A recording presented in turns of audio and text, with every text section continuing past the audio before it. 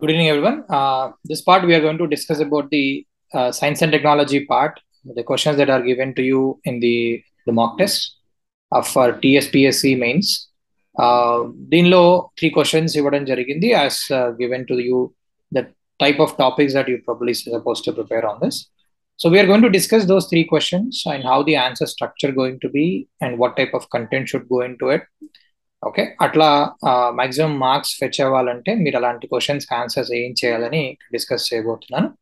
Okay let's have a look at that so we're going to begin with the the first question in the science and technology part here okay on the screen you can you can actually see it that you we asked about 5G communication technology. ఎందుకంటే రీసెంట్గా five G launch అనేది ఇండియాలో జరిగింది.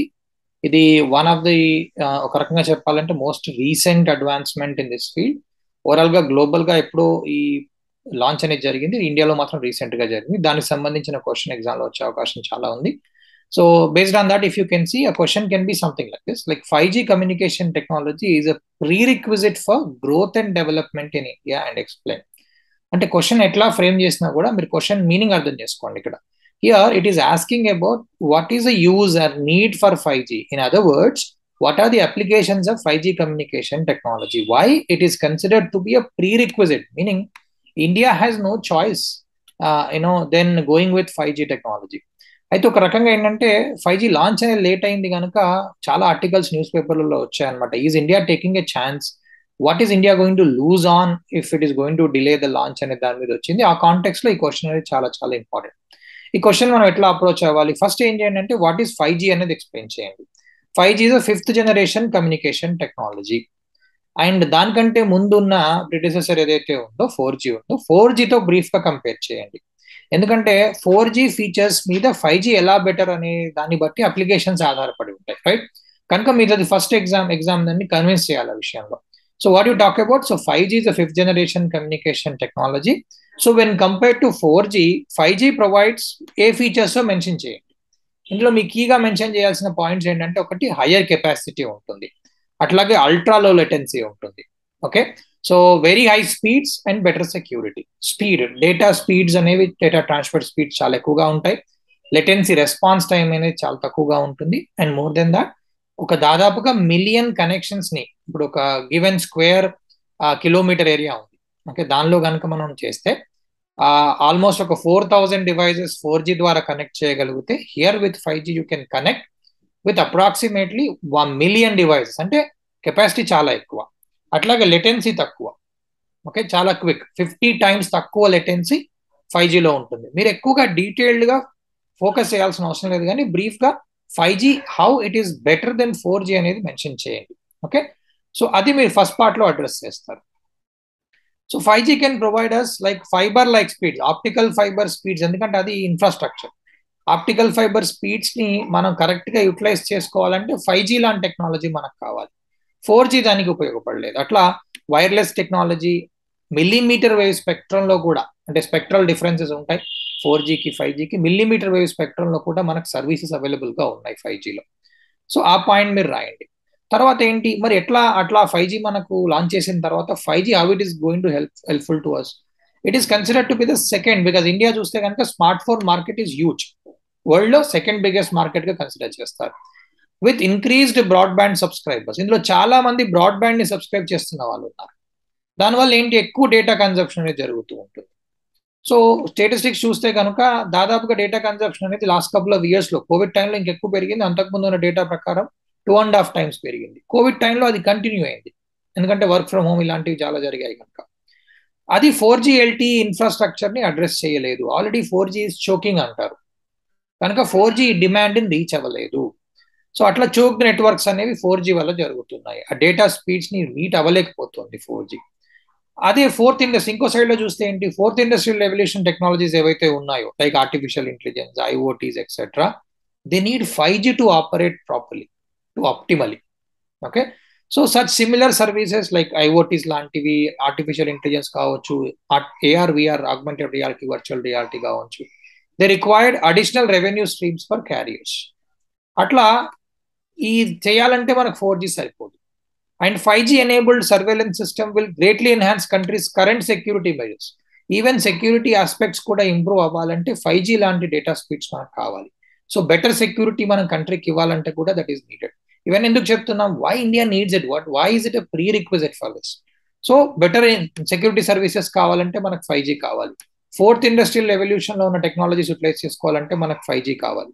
And it can not only realise the full potential of smart infrastructure ఎందుకంటే in the బ్యాక్గ్రౌండ్లో smart cities infrastructure మనం build చేస్తున్నాం. అలాగే రోబోటిక్ సర్జరీస్ అంటున్నాం డ్రైవర్లెస్ కార్స్ అంటున్నాం రైట్? సెన్సర్స్ రకరకాల ఐఓటీ సెన్సర్స్ బిల్డ్ చేసాం ఇప్పుడు ఆంధ్రప్రదేశ్ గవర్నమెంట్ ఉంది. కోస్టల్ ఏరియాలలో ఐఓటీ సెన్సర్స్ని యూస్ చేసి డిజాస్టర్స్ని మానిటర్ చేస్తాం ఇవన్నీ కూడా ఎఫెక్టివ్గా పనిచేయాలంటే we need five G speeds can India lose on that five G లేకుండా ఫైవ్ జీని డెవలప్ చేయకుండా ఇండియా చేయగలదా? చేయలేదు. అది మీరు ఇందులో జస్టిఫై చేయగలగాలి.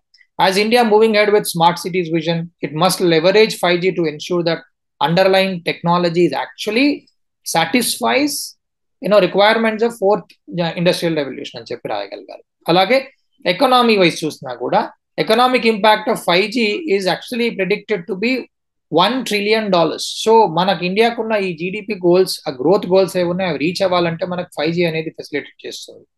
అది మస్త్ అనమాట సో ఆల్రెడీ మనం డిలే చేయడం ద్వారా ఫైవ్ జీ లాంచ్ ఎప్పుడో ట్వంటీ ట్వంటీలో చాలా కంట్రీస్ లాంచ్ చేశాయి. ఆల్రెడీ డెబ్బై డెబ్బై ఐదు కంట్రీలు లాంచ్ చేస్తున్నాయి.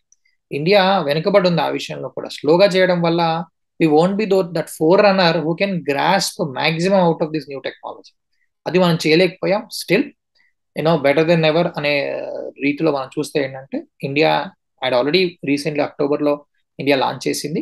సో అట్లా ఫైవ్ జీ అనేది మనకు ఎన్ని ఆస్పెక్ట్స్లలో fourth industrial revolution technologies three D four D printing అంటున్నాం. అలాగే మీకు నేను చెప్పిన ఎగ్జాంపుల్స్ ప్రకారం కూడా మీరు అవి స్పెసిఫై చేసి ఇవి సక్రమంగా నడవాలంటే ఆప్టిమల్గా వాడిని యూటిలైజ్ చేసుకోవాలంటే we need five G and any developing country like India proper resource management కావాలన్నా ప్రాపర్ సెక్యూరిటీ మెజర్స్ తీసుకోవాలన్నా అలాగే ఈ గవర్నెన్స్ సర్వీసెస్ స్మూత్గా నడవాలన్నా current happening technologies AR VR metaverse అనేది ఫీల్డ్ చాలా గ్రో అవుతుంది. అది సస్టైన్ అవ్వాలన్నా కూడా మనకు ఫైవ్ జీ కావాలి. ఈ ఎగ్జాంపుల్స్ మీరు రాసి for these reasons in it is considered to be prerequisite for developing nation like India equally as a developed country అనే ఆస్పెక్ట్ని మీరు ఇందులో స్ట్రెస్ చేసి రాయాలి. ఓకే అది this is what we're expecting from you in the first question and the second question is related to climate change global warming and climate change అనుకున్నాం కదా. Global warming and climate change so దీని ప్రకారం ఏంటంటే ఆ question ఏం అడిగాము ఇందులో? Twenty ట్వంటీలో మినిస్ట్రీ ఆఫ్ ఎర్త్ సైన్సెస్ ఏం చేసిందంటే ఒక కాంప్రహెన్సివ్ డాక్యుమెంట్ రిలీజ్ చేసింది. ఇండియా మీద క్లైమేట్ చేంజ్ ఇంపాక్ట్ ఏంటని. అది చాలా ఇంపార్టెంట్ డాక్యుమెంట్ ఆ డాక్యుమెంట్ ప్రకారం క్లైమేట్ చేంజ్ గురించి ఇండియాలో ఏం జరుగుతుంది? What type of impact climate change is predicted to have ఇందులో డేటా కూడా ఉంది. చాలా యూస్ఫుల్ డేటా ఉంది. క్వశ్చన్ మనకి ఇలాగే రాకపోయినా కూడా క్లైమేట్ చేంజ్ ఎఫెక్ట్ ఇండియా మీద ఎలా ఉండబోతుందంటే మనం దీన్ని రిఫరెన్స్గా తీసుకొని రాయొచ్చు. ఓకే దీన్ని ఫస్ట్ ఏం చేయండి? మీరు బ్రీఫ్గా ఎక్స్ప్లెయిన్ చేయండి. అసలు ఈ డాక్యుమెంట్ ఎవరు రిలీజ్ చేశారు? ఎప్పుడు రిలీజ్ చేశారు? ఈ first first assessment minister of earth sciences నుంచి వచ్చింది. డాక్యుమెంట్ టైటిల్ రాయండి. Assessment of climate change over the Indian region okay release on June sixteen twenty twenty మళ్ళీ అట్లాగే ఇది ప్రిపేర్ ఎవరు చేశారు? Centre for climate change research centre for climate change research at Indian institute of tropical meteorology Pune వాళ్ళు దీన్ని prepare చేశారు. మరి document ఏం చెప్తుంది? చాలా పెద్ద డాక్యుమెంట్ ఇందులో మనం కీ పాయింట్స్ రాయగలగాలి నేను ఇందులో పాసిబుల్ ఆప్షన్స్ అన్ని చెప్తున్నాను. మీరు సెలెక్టివ్గా ఇందులో కొంచెం తగ్గించి రాసినా పర్వాలేదు.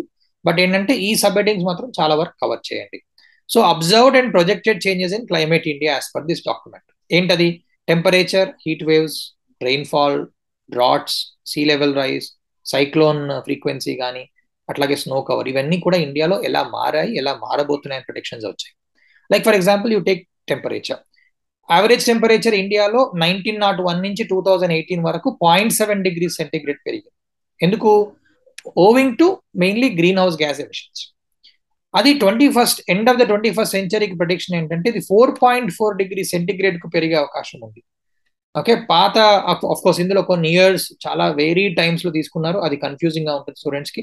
మీరంత పర్టికులర్గా ఇయర్ రాకపోయినా కూడా ఓకే యావరేజ్ టెంపరేచర్స్ని కన్సిడర్ చేస్తే four and four point four degree సెంటిగ్రేడ్కి పెరిగే అవకాశం ఉంది అంటున్నారు twenty first సెంచరీలో that is going to be disasters for India so ఇక్కడ రెండు పాయింట్లు చూశాను. నేను ఏం చెప్తున్నాను? ఒకటి ఎలా మారింది ఎలా మారబోతోంది? అలా ఆ రెండింటి మీద ఫోకస్ చేస్తే కూడా మీరు పాస్ట్ హిస్టరీ ఏంటి ఫ్యూచర్ ఏంటి అనేది రెండు కవర్ చేయగలుగుతారు. హీట్ వేవ్స్ అట్లాగే. Average duration of heat waves during April and June projected to double April and జూన్లో మనకు వచ్చే హీట్ వేవ్స్ డబుల్ అయ్యే ఛాన్స్ ఉంది. అట్లాగే ఫ్యూచర్లో అంటే మామూలుగా మనకు seventy six two thousand five డేటాని రిఫరెన్స్గా తీసుకుంటే త్రీ టు ఫోర్ టైమ్స్ పెరిగే ఛాన్స్ అట్లా హీట్ వేవ్స్ ఫ్రీక్వెన్సీ పెరిగే ఛాన్స్ ఉంది. రెయిన్ ఫాల్ కూడా చాలా అనీవెన్గా జరిగే ఛాన్స్ ఉంది. Six percent decline in rainfall was notice from nineteen fifty one to twenty fifteen okay ముఖ్యంగా ఇండో గ్యాంజెటిక్ ప్లేన్స్లలో అట్లాగే వెస్టర్న్ ఘాట్స్లలో ఇది మనకు జరిగింది. సో ఇది ఈ డ్రై స్పెల్స్ అనేవి is going to increase nineteen eighty one నుంచి ట్వంటీ లెవెన్లో ట్వంటీ సెవెన్ పర్సెంట్ పెరిగాయి. ఓకే? అట్లాగే it is going to have wet spells రెండు జరుగుతున్నాయి. ఒక డ్రై స్పెల్స్ అనేది పెరుగుతున్నాయి. వర్షం పడితే తీవ్రంగా వర్షం పడే ఛాన్సెస్ కూడా పెరుగుతున్నాయి. So frequency of daily precipitation extremes more than one fifty millimetres per day has increased by seventy five percent mainly in central ఇండియాలో పెరిగింది. అట్లా ఇంటర్ యాన్యువల్ వేరియబిలిటీ సంవత్సరం అంతం ఏదైతే వేరియబిలిటీ ఉందో రెయిన్కి సంబంధించి it is going to rise coming డెకేట్స్లలో ఈ వేరియేషన్ ఇంకా హెవీగా ఉంటుంది. అగ్రికల్చర్ విల్ బి ట్రస్ట్ అంటే హెవీలీ హిట్ అనమాట దీనివల్ల. అది మీరు రాయొచ్చు. తర్వాత droughts so frequency and spatial extent of droughts అంటే ఎన్ని రోజులు ఉంటున్నాయి? ఎంత ఫ్రీక్వెంట్గా డ్రాట్స్ అనేవి జరుగుతున్నాయి అనేది కూడా నైన్టీన్ ఫిఫ్టీ వన్ ట్వంటీ సిక్స్టీన్తో కంపేర్ చేస్తే పెరుగుతున్నాయి. దాదాపుగా పర్ డెకేడ్ టూ ఈవెంట్స్ ఇట్లాంటివి జరుగుతాయి అంటున్నారు ట్వంటీ ఫస్ట్ సెంచరీ ఎండ్ వరకు. సో అది కూడా is going to big challenge for agriculture sector India sea level sea level rise కూడా పెరుగుతుంది. అది రాయొచ్చు. North Indian ఓషన్లో double. Almost three point three millimetres per ఇయర్కి పెరిగిందంట లాస్ట్ టూ అండ్ హాఫ్ డెకేడ్స్లో ఇంకా త్రీ హండ్రెడ్ ఎంఎం మిల్లీమీటర్స్కి పెరిగే ఛాన్స్ ఉందట. టూ థౌజండ్ ఫైవ్ మనం మామూలుగా వడిసే బ్రేస్ లైన్ తీసుకుంటే కనుక త్రీ హండ్రెడ్ ఎం మిల్లీమీటర్స్కి పెరిగే ఛాన్స్ ఉంది. అది ఒకటి. మళ్ళీ అట్లాగే by twenty thirty three forty million coastal residents north Indian ocean islands నుంచి రీప్లేస్ అయ్యే ఛాన్స్ ఉంది. కోసల్ అజర్ట్స్ వల్ల వాళ్ళకి డ్యామేజ్ అయ్యే ఛాన్స్ ఉంది. అలాంటిది రాయొచ్చు. సైక్లోన్స్ ఫ్రీక్వెన్సీ ఆఫ్ సైక్లోన్స్ పెరుగుతున్నాయి. Very severe post monsoon cyclone storms అనేవి పెరిగే ఛాన్స్ ఉంది. హిమాలయ స్నో క్లవర్ చూస్తే తగ్గుతుంది. Declining trend is seen in snowfall in Hindu Kush Himalayas. Okay? కొన్ని ఏరియాస్లలో హై ఎలివేషన్ పాయింట్లలో like if you see other parts of Himalayas like Karakoram హిమాలయస్లలో చూస్తే కనుక వింటర్ స్నోఫాల్ అనేది పెరుగుతుంది. అట్లా అనీవెన్గా జరుగుతుంది.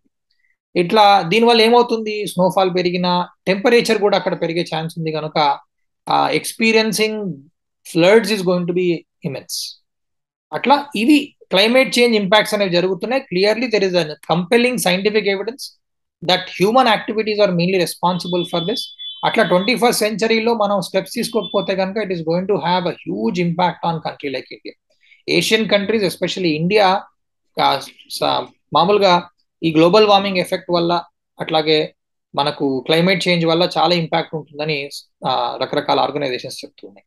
సో దీన్ని దృష్టిలో పెట్టుకొని మీరు ఈ సమ్మరీని మెన్షన్ చేయగలగాలి. యాజ్ ఎ సెట్ మీకు ఇందులో సెలెక్టివ్గా రెయిన్ఫాల్లో ఇలా మాక్సిమం వీలైనంత డైవర్సిటీ ఆన్సర్లో ఉండేటట్టుగా ట్రై చేయండి.